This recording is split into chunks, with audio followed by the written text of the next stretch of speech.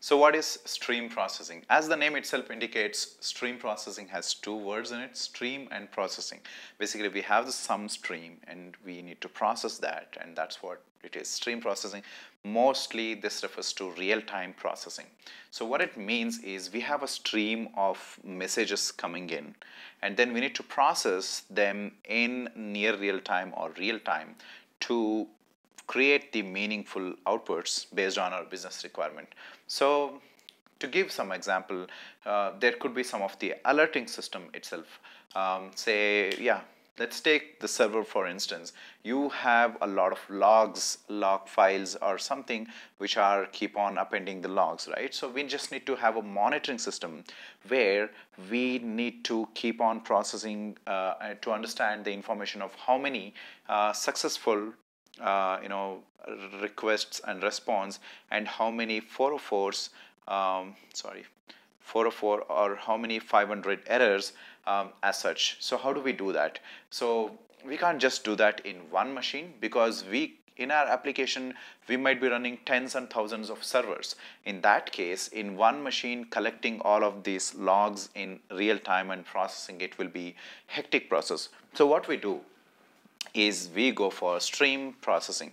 So let's think, okay, we have hundreds of files which are there in different servers. Now, how do we basically get 200s and 400s in real time? So one way is we'll need to have a system which basically keeps on reading and push it to one particular data structure, what it is. So we need to have some sort of queue data structure.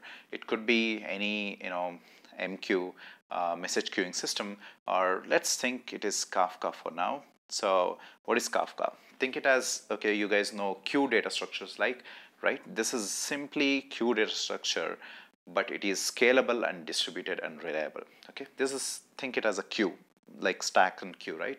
Simply this is a queue from where our stream processors will read the messages. Don't worry about how we are fetching this information and all. There is some system which basically keeps on reading the new log lines in all of the machines and it is pushing it to your queue data structures and the rate at which it is pushing is basically like 1000 uh, messages per second or 1000 log lines per second. How do we process it? With a single machine, it is very difficult to process all of these 1000 uh, you know, messages per second because every line we need to parse it for the time, you know, for the you know response code, for the message and everything. So it will be difficult. So now how do we problem? Again, we have to use the distributing, uh, distributed computing. Basically, we will have to have so many machines um, in uh, to process that. And who will basically distribute that work? Again we'll have to have a master or driver as such where it receives the information and it doesn't do the computation but it knows what are all the jobs we need to execute. Basically i need to count. So so this basically driver knows what are all the jobs I need to execute. So there is job 1, there is job 2. Basically job 1 says you need to count 200, job 2 says you need to count 500. So now just this machine can't do it. So what this guy do is, this guy basically maintains all of these machines which basically computes and then it keeps on, I know, it sends the jobs here so the job, when we send it to execute it, basically we call it as task. So one and two, it tells this executor, you execute one and two. Maybe these machines have less power, so it just tells you execute one, you execute two, and you execute one and two. And it also distributes the messages as and when it appears um, in the driver. So driver basically keeps on receiving the messages and keeps on pushing it to these, uh, you know, executors uh, and they will they will basically process and once they process it maybe we'll need to write it to one centralized storage or the database um, basically like okay the at time 10 o'clock 0 seconds um, we saw 200 how many? Say 2000 or maybe 900 requests. At same 10 o'clock we saw 100 500 something like that. And every second it will be keep on 1001 200 how many? 1001 500 how many? So everyone will be keep will be basically incrementing or writing into some storage system to understand the analytics as such So this is how it works. Uh, basically, Spark does as a micro batching, where instead of pushing each, taking each and every messages and pushing, it basically waits for some seconds. Say it waits for two seconds and collects all of the messages which came. Say maybe uh, if it is coming at thousand messages per second, basically all, it collects all of two, 2000 messages and then it micro batches this and it converts it as one kind of uh, you know a data type called as RDD. So that is resilient distributed data sets. So there is advantage of this like what what happens is uh, it has the reliability even if some machine fails the data the data can be recovered so it ha it will basically keeps the duplicates of data in different machines as well so that advantage is there it basically for, for you guys to understand, it basically does the micro batching of uh, for two seconds and collect all of that information and keeps on sending it to machines to process. And that's how it basically works. Um, so every time the messages keeps on coming, the driver will collect it and send it to a lot of machines.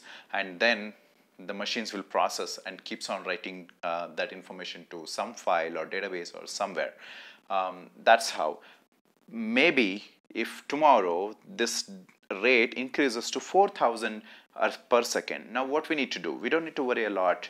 We just need to add more machines like here. The executors we need to add more machines. So we have more computing power and the driver will take care of distributing the jobs to those machines um, also so you need to execute one and two tasks one and two tasks um, uh, one job and second job or whatever so and also it takes care of you know, sending the uh, messages to those machines as well. And that's how the, you know, stream processing basically works. So anything you see, uh, the alerting systems for, for that matter, or, you know, real-time monitoring system so we saw the micro batching based stream processing. There are other type of stream processing as well, like Apache Storm and Concord.io. These were the framework where basically they implemented this way. What happens is every node basically you see here um, is something like these are called as operators. What is an operator is basically a piece of code where basically you write it. It has some predefined methods to it. Basically it has init um, where basically whatever you write it here when the operator fresh, freshly starts, all the code which you write inside basically executes. And there is obviously exit. So whenever it is going to be stopped or killed, that's going to be executed. Uh, and there is one thing called as uh, receive. This method will be called every time when there is a message received to that particular operator. So in the stream processing, basically I said in this is like a queue uh, data structure and you will be keep on receiving the messages. In this case, let's take the same example. You will be receiving the log lines of all the servers. So in that case, every time when the log line is received uh, for the first time, um, what we our goal is if it is 200, we just need to count the number of 200s and write it to DB. If it is 500, there are two conditions again. If it is 500 or if it is 503, we need to do something. If it is 504, we need to do something and then write it to 5. So I don't know what, but just to give an example. So now how do we do that? So first I will have to write an operator which basically receives and decides whether it's 200 or 500. So this operator's work is just that, whether to decide it to 200 or 500. So if 500, send it to this queue. So every line in here is basically like a queue data structure but not here. It's basically making a call to DB and write it here, and here making a call to and write it to a file. So, but between operator, whatever it is, it's all like a queue data structure. Uh, it could be Kafka, it could be RabbitMQ or something like that. So once it receives a, a line, um, it basically does executes the code inside this receive function and then checks uh, according to the business logic here. If it is 200, it writes that message to the queue or the operator itself. So every operator has a name. So they may, maybe we call this operator as 1, 2, and 3, 4, and 5. So if it is 200, I just need to emit that message to operator 2. So the framework internally handles that message into the queue and then it will be transferred to operator 2. And in the operator 2, we have some logic. It will be basically executed for every message. If it was a 500 line, basically we need to parse it and see the response code. If it was 500, it will be sent to operator 3 and internally automatically it will be pushed through the queue data structure and that message will be going to the operator 3 and from 3 again we can write our own you know uh, business logic and there we will have to do check that. If it is 503 exactly write it to operator 4 it will go here and then otherwise it will go to here and then they write it to file in some format. So this is how the other uh, strategy. But here how do we scale it? Maybe the parsing is taking more time. Um, in here maybe it's not. So how do we scale it um, so basically we'll have to create partitions. Uh, in the queue data structures there is something called as partitions. Uh, the more partitions you create the streams will be the stream of messages will be divided into those partition and there is no duplications. And you can scale this operator to n numbers. So basically you'll have more operators of same kind and you basically have four partitions created. Every message every stream data it basically appears here one message will go here and one will go here and the next one will go here and the next one will go here. So there is no duplication but still all of the operator was still able to consume and scale and they will be still behaving the same way how I explained. If it is 200 it will be sent it to here, if it is 500 it will be sent it, sent it to here and again if this is to be scaled again we'll have more operator of the same kind and it can be scaled. So this is one way of uh, you know um, uh, distributed computing or stream processing also. Uh, you can you can check the Apache um, Storm architecture. Apache Storm architecture. Basically, this is how it works. Uh, I think I have explained uh, most of the basic concepts and the generic patterns which we use it in distributed computing. Uh, next, let's in the next video, let's learn about distributed file systems.